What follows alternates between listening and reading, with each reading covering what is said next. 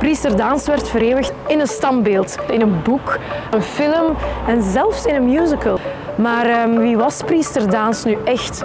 In Daans de podcast gaan we dieper in op het leven van de priester-politicus en op zijn invloed op het politieke en sociale leven in Aalst, Denderland en ver daarbuiten. Daans de podcast is nu overal te beluisteren.